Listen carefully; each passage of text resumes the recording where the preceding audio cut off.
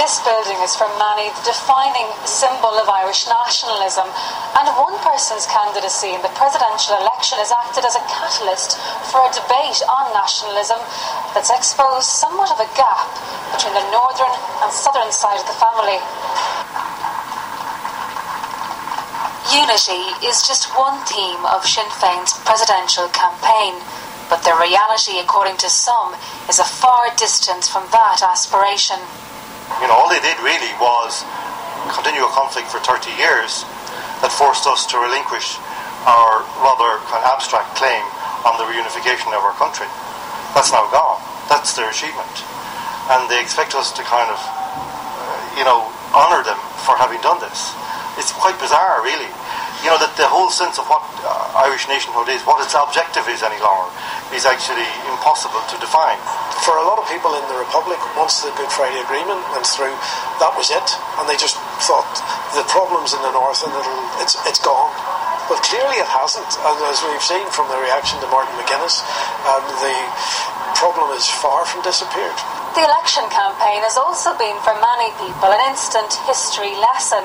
But what does nationalism represent to those who were only aged five when the Good Friday Agreement was actually signed? for past generations, nationalism would have been maybe it could have meant fighting for your country or whatever. I think for us now, it's about just having pride. Where, where you live and when you lived, there's always going to be a different idea of nationalism there between kind of what you can justify under nationalism and what you can't. I don't think it's it's so much a call to arms as it was before. I think today it's a matter of preserving our identity. But a discussion about what is nationalism or even Irish identity is not the preserve of the presidential campaign. I've lost count of the times when people have said to me, Do you consider yourself Irish or British? Or, oh, well, you know, I don't think people in the north should have an Irish passport because they don't pay tax here. I say to them, well, what kind of passport do you think your grandparents had? And they go, Irish. And I say, no, your grandparents would have had a British passport because there wasn't an Irish passport in their day.